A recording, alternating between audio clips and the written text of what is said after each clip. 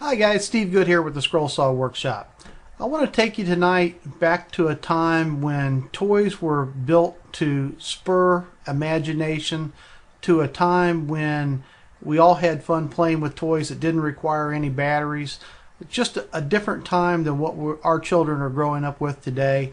And uh, so I want to take you to a website uh, that I received an email from one of the owners of tonight asking that I put a link on my blog to. So, like I always do when I get a link request, I always want to go over and take a look at the uh, at the website and just see what it's all about.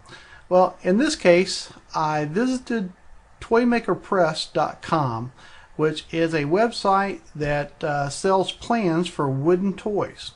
And the site is operated by Cynthia and John Lumen, and uh, they've really done a fantastic job putting this website together. So here we are at their website, and you can see it's a very bright, colorful site, which uh, just right off the bat uh, screams of children's creativity. So take a quick look here. You can see down the left side of their website, they have all the different sections for the different types of toys and books that you can buy, uh, the plans that you can buy on this website. And uh, so I thought, well, I'll check a couple of them out. So I went to the uh, boats and ships section. And you can see these are basic uh, wooden toys that I think any child would love to play with. Now I thought, okay, I'm here, I might as well buy one of these patterns and just see what the pattern looks like. As a pattern designer, I'm always interested to see what other people do. So I thought this little tugboat right here would be a nice one to look at. Uh, I took a look, looked like a fairly basic, easy uh, plan, which is great when you're building uh, toys for small kids. And I put it in my shopping cart, and it was a very easy process to add it to the shopping cart, pay for the plan, and they have a couple different payment options. You can use PayPal or a credit card. And the download process, which these are all instant download patterns, and that was seamless. As soon as I paid for the pattern, I was taken to a web page that allowed me to click on a link to download the PDF. And here's what I got. This is a four page PDF of the pattern for the tugboat. And you can see on the very first page, they're showing the project from different angles. So even on the very first, first page, I believe you could look at this and build this tugboat.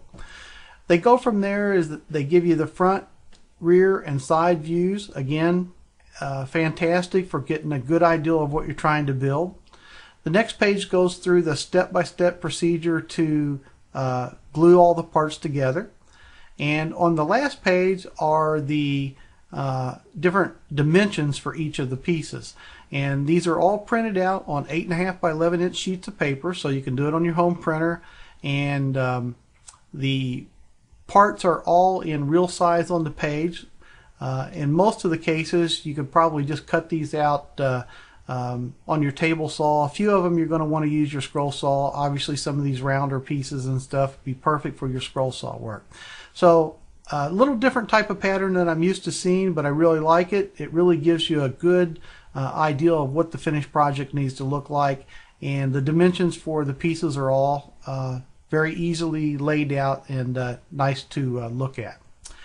So that's what their patterns look like. Back to their website now. There's another place that I want to point out to you on. Well, first of all, before we do that, they also sell uh, toy books. So you can go to their book section. You can see they have a really nice selection of wooden toy plan books. They have the cars and the trucks. They have, of course, the boats and the ships, the dinosaurs, and uh, I bet you these would be incredibly popular with the smaller kids. Every all the kids are in love with dinosaurs nowadays. They have the dragon section, and you can see the very colorful wooden dragons that they have here. Uh, let's see, snazzy toys down here at the bottom. Uh, looks like some really neat stuff with wheels and just, uh, you know, very colorful, very attractive type toys. So take a look at what they have to offer. If you enjoy making this type of project, then go ahead and uh, buy some of them. They also also have a free plan, uh, which is what they call their weekender, and uh, it's a series of uh, uh, different uh, automobiles and trucks and little sheds and houses and people and stuff. So the small children are really going to like that.